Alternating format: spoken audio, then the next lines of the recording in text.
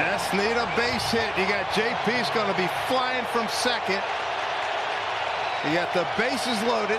Bowers well fouled down the third base line. Biggest pitch of the year here for the Mariners. Three and two, bases loaded. Cishek, the pitch. Base hit